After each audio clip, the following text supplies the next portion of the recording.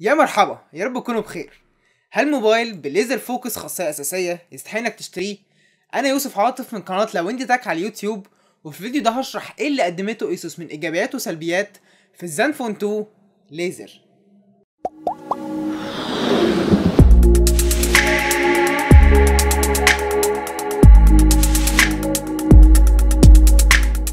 ASUS أصدرت ال Zenfone Laser مع ثلاث موبايلات تانيين وهما ال Selfie Deluxe و Go ال Laser يعتبر أخ الأصغر للسيلفي من ناحية الشاشة الكاميرا الاماميه والمعالج.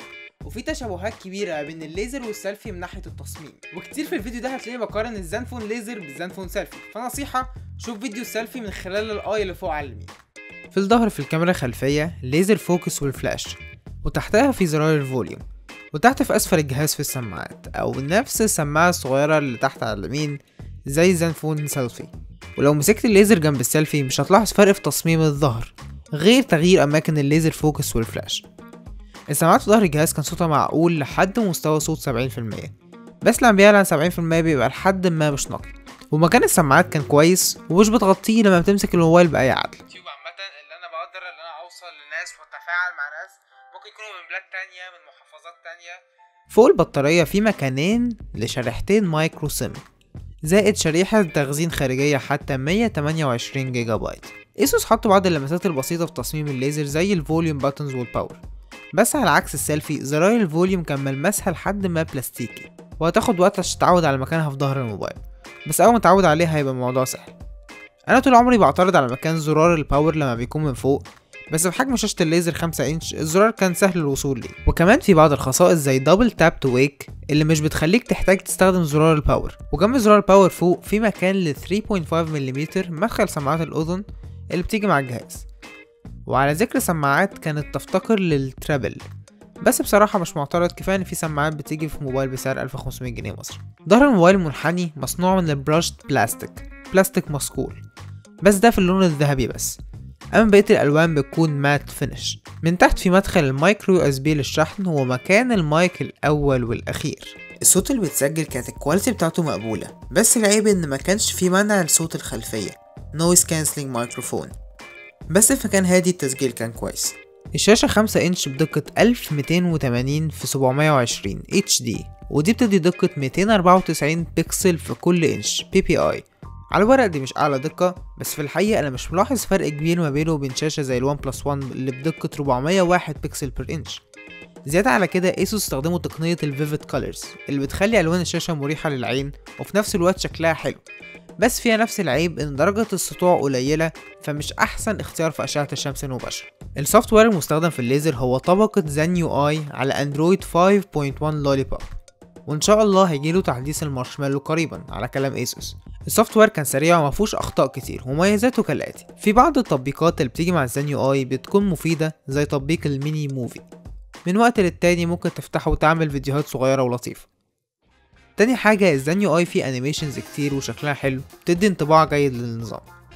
السلبية الوحيدة اللي ممكن أقولها إن تطبيقات Asus وال system حوالي 5.74 جيجا بايت. ودي مساحة مش صغيرة بس مع ذلك في مدخل ذاكرة 128 جيجا بايت اللي يقدر يعوض بس في نفس الوقت 5.74 جيجا بايت ده مش قليل. الليزر شغال بمعالج رباعي النواة Snapdragon 410 على تردد 1.2 جيجا هرتز مع المعالج في 2 جيجا بايت RAM وبطارية 2070 milliampere hour. كاميرا خلفية 13 ميجا بكسل ب dual tone flash و laser focus وكاميرا 105 megapixels. ودي الأرقام اللي حققها السيلفي في برامج قياس قوة الجهاز. نبدأ ب AnTuTu Benchmark وهنا الليزر حقق 24877 أما في 3DMark والبرنامج ده معروف إن هو من أتقل ال benchmarks كارت الرسومات حقق score 53 على Sling Shot using ES 3 test. أما في Basemark OS ال Laser حقق score 634 overall وفي Basemark X وده البرنامج المسؤول عن قياس قوة الرسومات الليزر حقق score 3917 وآخر برنامج هو Geekbench 3 والبرنامج ده بيشتغل تقريبا على كل أنظمة الهواتف وكمان ال computers. الليزر حقق score 492 على ال single core و 1441 على ال multi core بطارية الليزر كانت 2070 milliampere hour وبالرغم من صغرها كانت ممتازة بالنسبة لل standby time وصلت معاه لحوالي خمسة أيام. وحوالي 4 ساعات الشاشة شغالة screen on time ده حصل عشان دقة الشاشة كانت قليلة نسبيا. وال ZenUI كان متألق في توفير البطارية لما يكون الهاتف مش بيستخدم. بالنسبة للشحن بطارية الشاحن من 0 ل 60 في حوالي 60 دقيقة ومن 0 ل 100 في حوالي ساعتين. نيجي لآخر وأهم نقطة وهي اسم الجهاز ال laser focus. باختصار تقنية ال laser focus بتمكن الموبايل إنه يعمل focus في وقت قليل جدا 0.03 seconds. الحلو إن الموبايل بي focus تقريبا في نفس اللحظة وأسرع بمراحل من ال focus العادي بتاع أي موبايل. وبرضه بيقدر ي focus بسهولة في الإضاءة القليلة. بس عيبه إنه بيشتغل بس لما تكون بتصور في مساحة صغيرة لأن فكرة الليزر إنه بيبعت أشعة وبيستقبلها تاني ففي الأماكن المفتوحة مش هيعرف يستقبلها. فلما بتصور من بعيد بيستخدم ال focus العادي المبني على ال contrast.